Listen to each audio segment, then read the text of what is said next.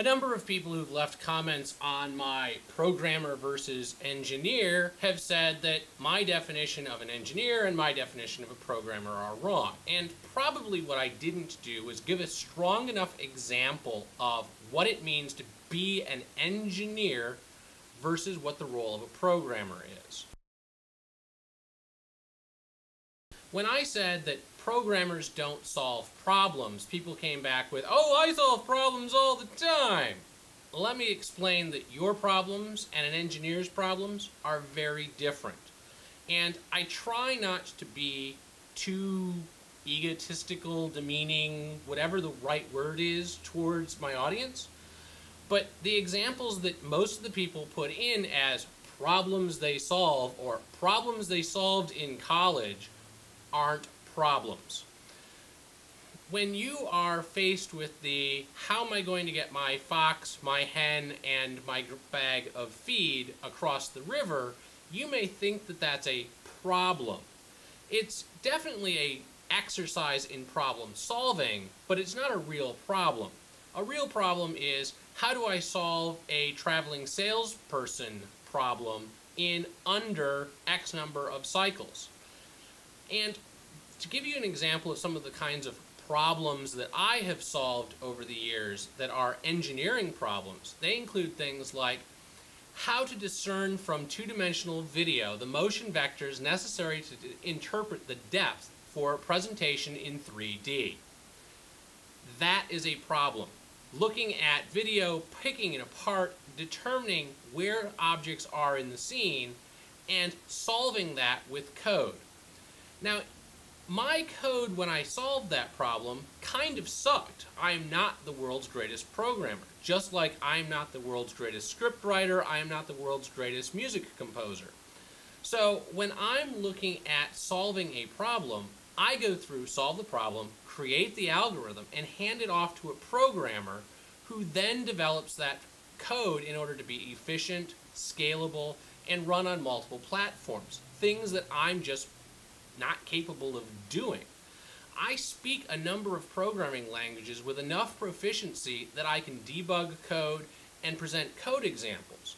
But I don't generally write code that is infinitely scalable. That's what an architect does. And the person who writes the code should be writing to those architects' solutions.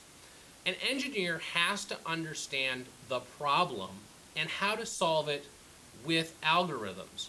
An architect works on how you scale so that that problem can be solved across either multiple computers or across a large platform, and a programmer interprets those two directives into code.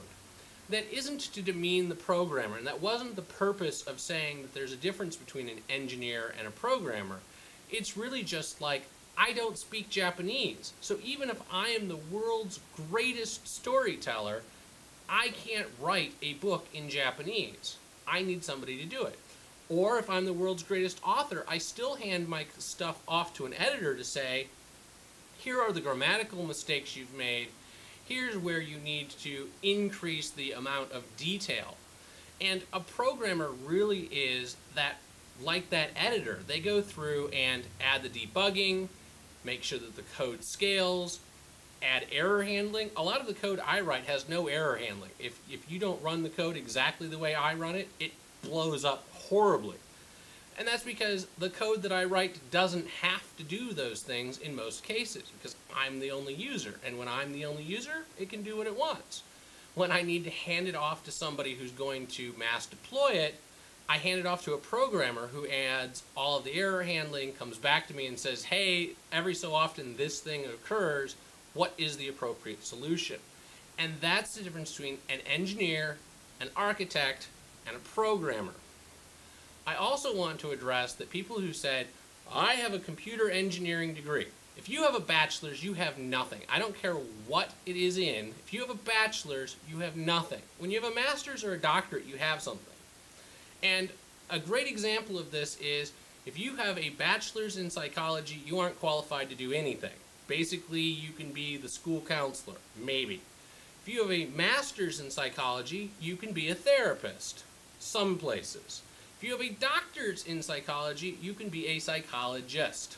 So think of it that way. With computer, it's the same thing. If you have a bachelor's in computer science, computer engineering, system administration, IT systems, information systems, those are all basically the same degree because you have two and a half years of the fluff that's required by your school in order to graduate the English, the biology, the chemistry, those kinds of things. But you don't have four years of hardcore computer application stuff or the math or the science that goes with it.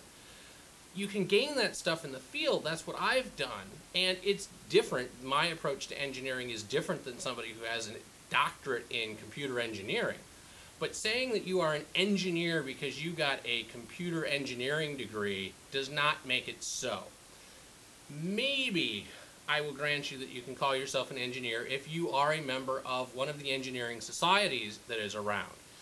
Or if you are part of an engineering standards body. I'm part of the SMPTE engineering standards body and a voting member on the C24 committee.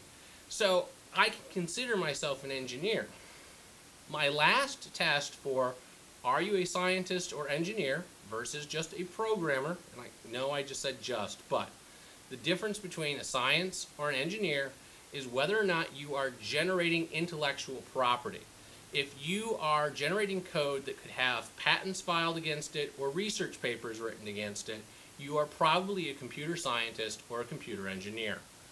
Hopefully this will wrap up some of the flames that have been going on in the thread, but realistically, this is my view on the world, this is the general view of employers, and this is the difference between being that 100K level programmer or architect and being the 200 to 300K a year employee that comes with being a person who generates intellectual property.